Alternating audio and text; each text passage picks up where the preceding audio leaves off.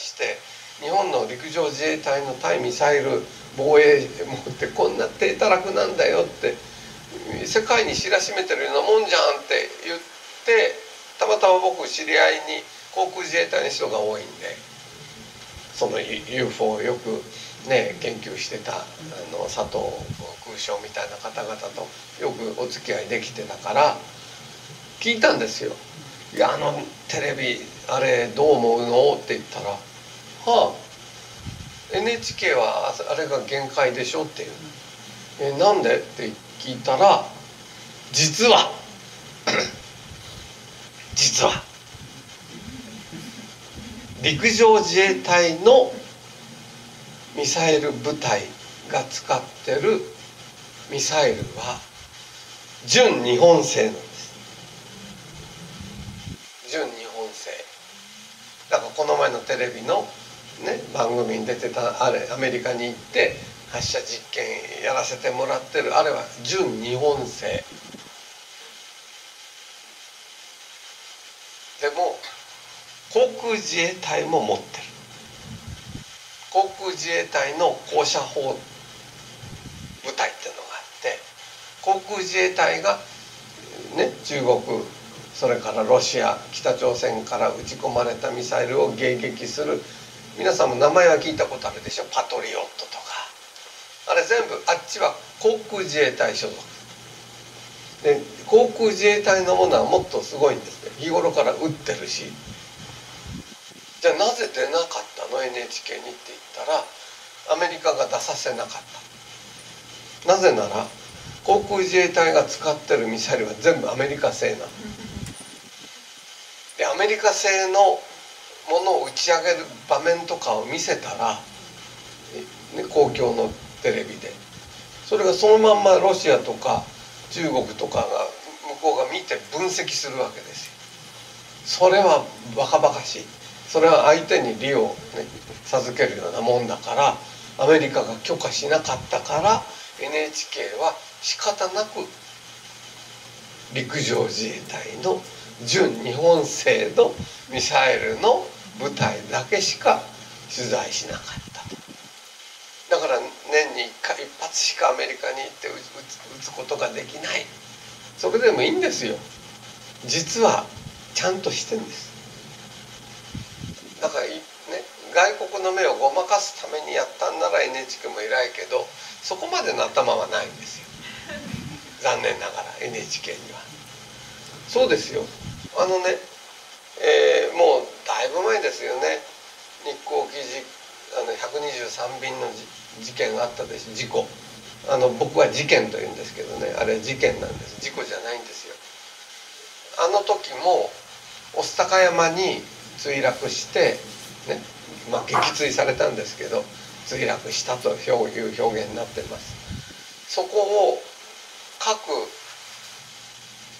えー、ていうんですか？新聞社テレビ局そういう人たちが行くわけですよもう墜落現場に撃墜現場にヘリコプターでその自社の自分たちのヘリコプターでその時にねもちろんその最初に乗り込むのは自衛隊のヘリコプターに同乗させてもらって墜落現場とかに案内してもらっていくわけですよ。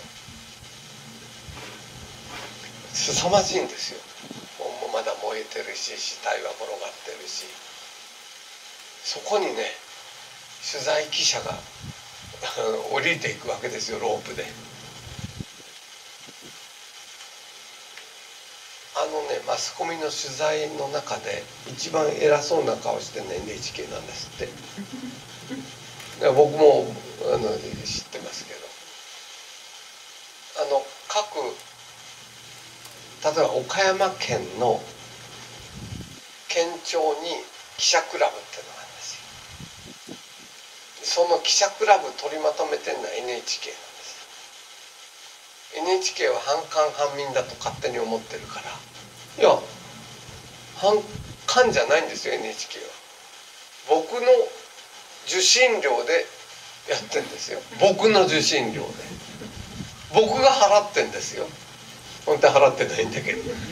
払ってるってことにしてるだけで。だからあんなもんの立場俺たちが、ねあのね、国のなんていうの国営放送なら偉そうにしたっていいけど単にみんなからね受信料を集めてやってるだけなのになぜか一番肩で風切って記者クラブ取り仕切って NHK 一番がその次朝日新聞とかね。大手の新聞。で地方のそのいわゆるあの民放で常に NHK の人がどんなに若造でも何でも偉そうにして質問もね県知事に対する質問もそれから総理大臣に対する質問もまず一番は NHK そういうもうそうなってんですよ日本は。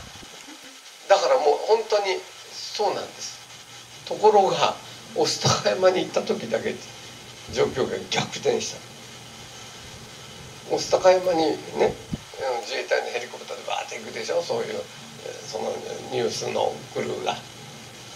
でうわ下でボンボン燃えてて死体が転がってるそこに「じゃあはい降りてください」って言って一番に NHK が行くはずなんですよ。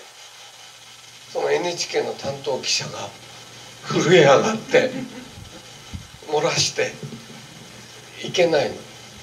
で行ったのはなんとなんとあの法政大学出身のラグビーやってたラガーマンのなんかどこかはよく分かんないような民放の記者が突撃して降りてそんなもんなんですよなんか今日はものすごく日本を今僕は対視してあの日本のダメさ加減をガンガン言おうとなぜか思ってんですよ。なぜか。なんでこうなってるのかさっぱり分かりません。ついこの前秘書のこと温泉に入って UFO が出たって話してるだけなのになんでこんなことになったのか自分でも理解できてないんですよ。でもねそこに何かがあるんですよ。必ず。でそのね実際に日本あるいは世界も通してです。この世界を動かしてる人たちで誰だろうと思うとそういうね NHK のトップの人とか NHK の人あるいはその自衛隊のトップの人政治家の人らなのかなと思ってるんですけどねどうもそうじゃないんですよ。使われてるだけ。動かされてる。